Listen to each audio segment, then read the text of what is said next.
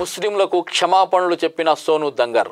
గత సంవత్సరం ముస్లింలకు వ్యతిరేకంగా అభ్యంతరకరమైన వ్యాఖ్యలు చేసిన లేడీ డాన్ సోను దంగర్ ముస్లిం సమాజానికి క్షమాపణలు చెప్పింది. ఒక ఫేస్బుక్ పోస్ట్ ద్వారా ఆమె తన క్షమాపణ ప్రకటించింది.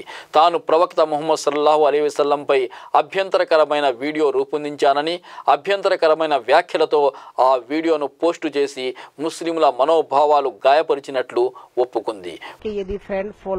ముస్లిం భాయ్ कहीं भी है तो उनको इनवाइट कर लो। मैं मेरे देश के तमाम मुसलमान भाइयों से, जो विदेश में भी रह रहे हैं तमाम मुसलमान भाइयों से, आज कुछ बात करना चाहती हूँ।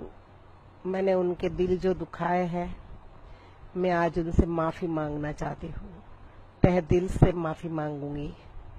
मतलब कि मैं कभी भी कोई दोगला काम नहीं करती। जो काम करती हूँ, मैं मेरी सच्ची आत्मा से, मेरे दिल से करती हूँ।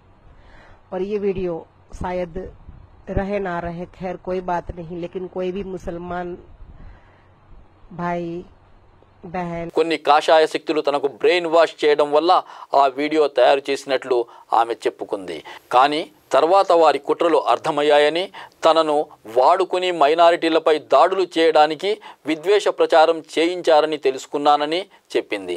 ఆమెకు వ్యతిరేకంగా హైదరాబాదులో అప్పుడు పెద్ద నిరసన ప్రదర్శన జరిగింది. హైదరాబాదులో ఆమెపై నాలుగు కేసులు ఉన్నాయి. గుజరాత్లో మరో పది కేసులున్నాయి.